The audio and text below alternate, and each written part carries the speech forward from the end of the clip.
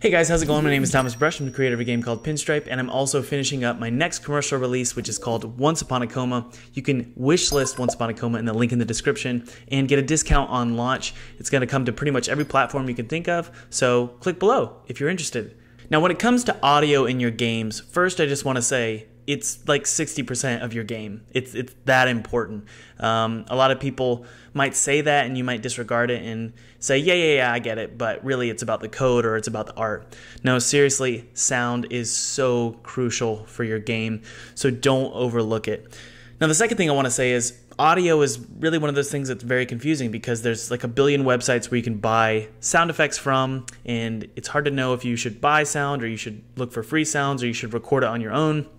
And also, just the audio system in general inside of Unity is a little bit robust, a little bit confusing, um, and complicated. So, I want to sort of give you a bird's eye view of how I do everything audio in my games. Now, we're not going to cover how I write music, but we're going to handle sound effects, ambience, and how I download, edit those sounds, mix them together, and put them inside of Unity and get the systems working together to create a beautiful game with beautiful sound. So, let's jump into Unity and get started. But first, before we get started, guys, I want to thank this video's sponsor, Skillshare. Thank you so much, Skillshare, for sponsoring this video. Skillshare is an incredible website for you guys to learn about pretty much anything you want to learn about. Specifically, if you want to learn about game design, it's an incredible place. Whether it's audio design for your games, or 2D illustration, or animation, or Unreal, coding, storytelling, marketing, business, management, whatever it is you need to learn about game development, it's on Skillshare. The coolest part, about this ad read is hey, get two free months of Skillshare by clicking the link in the description. You really can't beat that, guys. Give it a shot, see what happens. I love Skillshare, it's a great way to learn about game development. All right, let's go ahead and get started. Now, really quickly, guys, uh, most of you already know this, so I'm going to jump through it as fast as I can. Um, you're going to have an audio listener in your scene. You really only need one audio listener. In this case, they're by default, they're put on your camera. Basically, it's going to listen for audio sources. Now, you could put an audio source inside of any object in your game. So, in this case, if I wanted to put it inside of an adult, I could put an audio source here, and we can make a scream sound play and that scream will play on awake. We can set it to loop. Um, we can set the pitch to 2.04. We could bring the volume down. Um, so that's basically how audio sources work. You could put like a thousand audio sources inside of your scene and have all kinds of audio sources playing in your scene. Now, in the case of Once Upon a Coma, uh, the developer, um, his name is Eric, he really wanted to have as much control over where the audio sources were. So his audio sources are actually created at runtime. So at runtime, all of our audio sources are actually generated in this nice clean list here. And we know exactly where they are and how to have control over them. Um, this was Eric's way of being able to have as much visibility uh, over the sounds that are playing, so the ambience that's playing, the footsteps that are playing, the moaning or groaning from this character that's stuck in the well here, the flags flapping, the birds chirping, the trees blowing in the wind, all of those are being controlled in this giant list here. Um, and this also allows for you to not be creating all of these various sound effects, but reusing certain sound effects when you need them. Now, obviously, guys, you don't have to do it this way. Um, you can just do what I would do, which is I'm lazy. I don't want to create a whole audio pool system. So I'm just going to use Unity's proprietary audio sources. I'm going to place an audio source here and here and here and here and here and here. Um, I'm not going to create a proprietary system, but you do what works best for you. So that's really the basics of audio sources um, and the audio listener. Now let's jump into how audio triggers actually work. I can imagine thinking about adding sound to your game is the last thing on your list. So um, I want to try and make this as simple as possible. So I'm just going to jump through all of the various types of sound effects and music and how I do it and, and how it all works together inside of Unity. Now, the first thing I'll mention is that all of my music is created in Logic Pro, um, and then I export it, and then I'll do some tweaks in Audacity, um, some volume tweaks and whatnot. Sometimes I will get sound effects from ProductionCrate.com or Epidemic Sound mainly productioncrate.com and freesound.org is where I get my sound effects, and then I'll mix them together inside of Audacity. Now, I can just open up Audacity to show you really quick um, what it looks like, but overall, Audacity is incredibly simple to use. Um, in this case, I'm looking at the ambience for Redwind Field. Um, if I wanted to, I could do sorts of all sorts of effects here. I could change the speed, the pitch, the tempo, add some echo, all sorts of cool goodies here. Change the volume in various portions of it, and then export it out into Unity. All of the sound effects in Unity are controlled um, by stuff called audio loops, and this is basically a great class that the, the developer of Once Upon a Coma created. Basically, what this class does is if I have a certain area, a sort of a circular area, and if I click on my gizmos here, I can actually show you where the audio loops are. Um, these big green audio loops here, this is when we want to change the music or we want to change the ambience. So when the player enters this position here, it's actually enters within the range here. Uh, the music is going to start playing, it's going to fade in. If he exits, it's going to fade out. Um, or if he enters little secret areas, it's going to change the sound effects as well. I'm not going to get into the weeds of what an audio loops script looks like, but basically all it's doing is it's changing the sound effects um, after a fade in and a fade out occurs. Um, and it's always going to be listening for the player to enter into this green range here.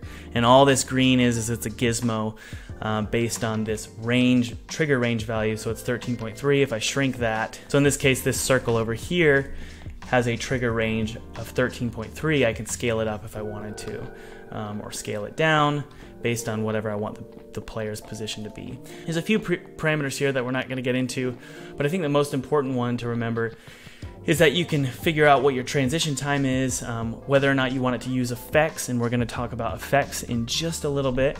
Um, whether or not it's 3D, basically meaning does it does its volume decrease as you get away from the object. So in the case of a spider, if the spider is hissing and snapping at you, you would want um, it to be a 3D sound. So as I get closer to these spiders here, um, and let's get rid of our gizmos really quick.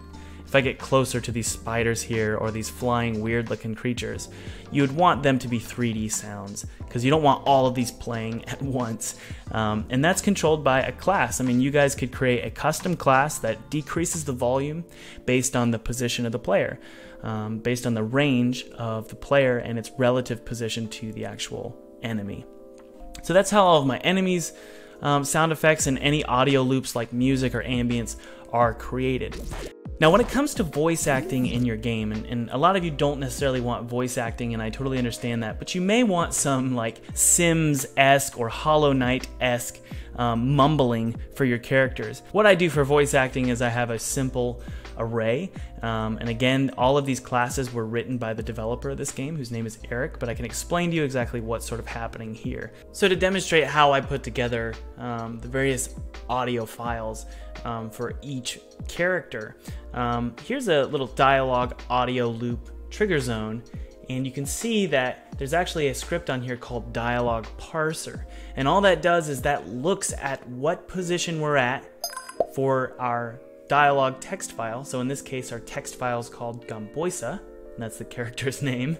Uh, and it looks for wh which position we're at. So if we're at position three, sentence three, it's going to play this audio file, Gamboisa 3, and this was cut up. Um, we take large audio files, maybe 10 minutes long, from our voice actors and actresses. And I got my intern, Hector Rodriguez. Thank you, Hector. He cut up a ton of sentences, and each one of those sentences we dragged into various positions here. So in this case, we have like 94 sentences for Gamboisa. So hopefully I can explain how that works if we open up Gamboisa's English text file. We've got all these different text files here. There's the English one. So if we open that up, you'll see here that we have various sentences. There's plenty of different tags here like E and D and F, and this helps us create a hierarchy for our conversations. But I think the basics that you need to think of here is that when we hit position four or position seven or position 10, which these are all just sentences separated by various tags and dialogue options, um, it's going to play those specific audio files that we've placed into the components parameters.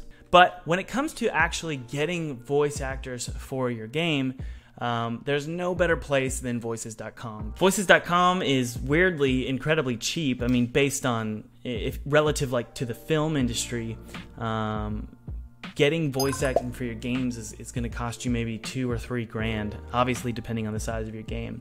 For me, it usually costs around three grand for a full game and it's voice acting. Now, obviously, this isn't localized, um, meaning the languages are translated and we have different voice actors for each language. It's just English, but that's really cheap.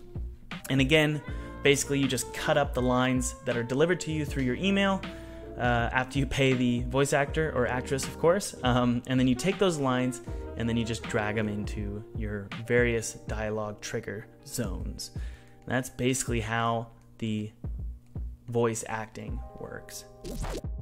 Now, one of my favorite things to talk about is the audio mixer. And for those of you who just came to this video for the tutorial for the audio mixer, um, I apologize for the lengthy intro, but Let's jump into our audio mixer here and I want to show you exactly how it works.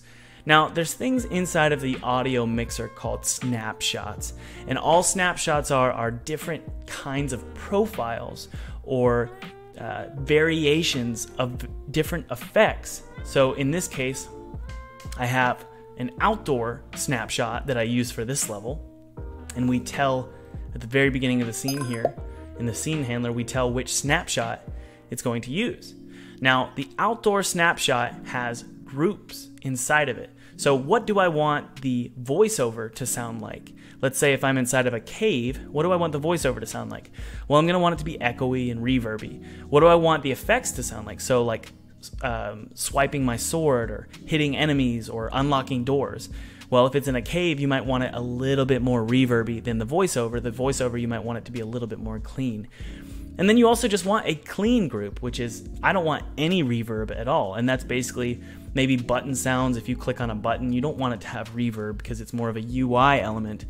So you're going to have these different groups inside of each one of your snapshots. And you can see over here in my inspector that my effects has a SFX reverb with all these various parameters here that I can adjust and move um, to get the perfect kind of reverb in each one of these groups. And you'll see in voiceover that our reverb and our reverb delay are not as intense. So voiceover is not going to be as extreme as the effects, especially in the case of the cave here. Um, but you can see I have a, a, woods one, I have an indoor like a bedroom, um, dream which is super intense reverb and very uh, echoey, and a marsh. All sorts of different snapshots, and each one is going to be um, used on certain levels. Now, obviously, guys, there's going to be some sound effects in your game that are not necessarily going to be trigger zones, it's not going to be voiceover zones. Um, or ambience or music, but rather specific sounds that play. So, for example, when the character is running, uh, each footstep he takes is going to trigger a sound. Now, the way that I do that is I actually do it inside of an animation tool called Spine, but you can also do it inside of Unity's new animation system where you can rig up a character and create animation event, events to play those sounds. So, I want to show you generally how stuff like that works, whether it's footsteps or when I swing my sword or when I jump in the air um, or when I get on my skateboard all these different sound effects have got to be triggered from somewhere, and it's a very uh, specific area and location in the animation timeline that it needs to play. I can't just set up footsteps to play randomly. They need to hit exactly when his feet touch the ground. So I'm going to show you really quick how that's done inside of Spine, but the same rules apply inside of Unity's animation system as well. So here is our character inside of Spine, and again, these rules can be applied to Unity's proprietary to Unity's new rigging system, but I just use Spine for this game. I'll be using Unity's uh, rigging tool for my next game. Um, but in this animation sequence here, you can notice that there's little words appearing footstep, footstep, footstep, footstep, footstep, footstep. What those are is those are simply events down at the very bottom of my timeline that I've told Spine to generate. So an event is there, an event is there. So you'll see footstep is right when he hits the ground the first time, jumps again. So he does two footsteps per loop. And all these events are, these are just basically strings, a string called footstep. And that, when I export, gets passed into Unity, and you can tell Unity with a script to listen for that sound effect.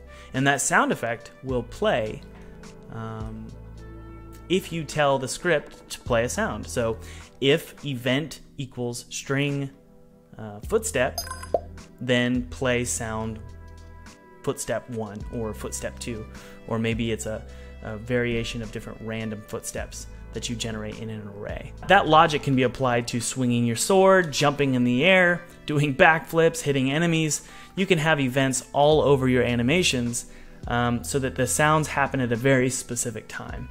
So again, sounds can be in triggers, they can be in audio zones, they can be 3D, um, they can be voiceover that's based on um, various positions in a dialogue text file, or they can just be generated from events or positions on a timeline uh, inside of Spine or Unity.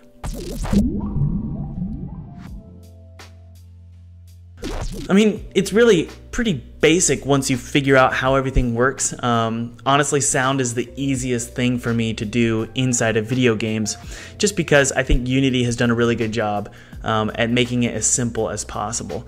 If you guys have any questions, leave a comment below and I'll try and answer as best as I can. Also, please like and subscribe and support and wish list and do all those cool things. If you guys want to support on Patreon, that would really mean a lot to me. You can get your name in the credits of my next video. I'll talk to you guys later. Bye.